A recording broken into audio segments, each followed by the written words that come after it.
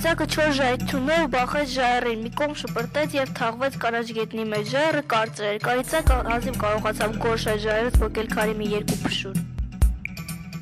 Ձին ճանաչում էր այդ հովտի բոլոր բույրերն ու նոտերը։ Նա գիտեր բոլոր հովիտների ու բլուրների բույրերը, բայց այս հովտի բույրերն ավելի լավ գիտեր, քանի որ ձիուն այս հովտում հաճախ էին կապում մոռացելու։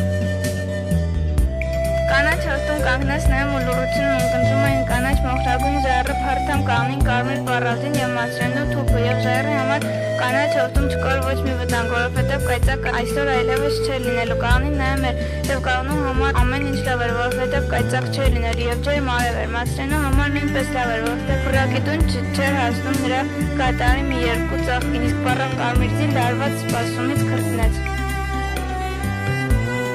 Օթում այդ վտանգի զայն չկար, հորտում այդ վտանգը չէր երևում, քամու մեջ այդ վտանգի հոտը չկար, բայց զին չէր կարողանում արածել։ Հորտում թշնամի կար, բայց հովիտը չէր մատնում թշնամու ձայնը եւ թշնամու հոտը կարմիր պարապտին սեր չէր անում գնալ դեպի քորակը։ Վախենում էր իր ոտնաձայների մեջ կորցրել թշնամու թակուն ձայները։ Կարմիր պարապտին սեր չէր անում շնչել, վախենում էր իր թոքերի աղմուկի մեջ կորցրել թշնամու թակուն շնչառությունը։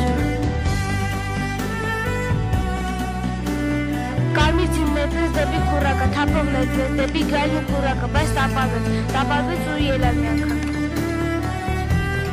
Քուրակը նայում էր մի բանի, ապա նայում էր մորը, դարձյալ նայում էր նույն բանին, ապա նայում էր մորը։ Այդ բանը մայրը չէր տեսնում, մոր մոտից այդ բանը չէր երևում։ Քուրակը նայում էր այն բանին, ապա գլուխը թեքու մոր կողմը։ Մայրը կանգնած էր, գլուխը բարձր եւ մոր աչքերը վառվում էին։ Քուրակը ճշաց եւ վեց ցածկեց եւ այդ ժամանակ մայրը ծարճ եղավ եւ ամբողջ սանրությամբ ու ամբողջ կատաղությամբ ձգվեց դեպի գայլն ու քուրակը եւ պարանը կտրվեց ու մտրակվեց նոր ոտքերին։ Բլուրների մի շերեսին լսվեց քուրակի սոր ծորածը եւ գամփր շները սևեցին եւ գամփր շների մեջ սևեց սևատուն չթոփուր շունը։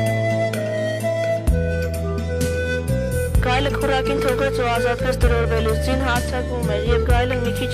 փախավ, ձին դարձյալ գալիս էր եւ գայլը մի քիչ էլ ետ քաշվեց։ Երկու կարծ ցածկով գայլը այդպես ձիու դնչի տակ, բայց ձին դարձյալ ասել շրջվել ու ակածի շպրտել։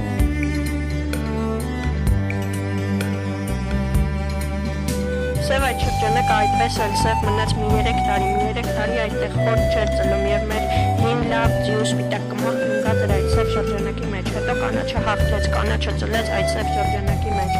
Կմախքի արենքներից ծաղիկներ ծաղկեցին, խորդեր ելան, հարթամացա եւ կանաչ հովիտը հիմա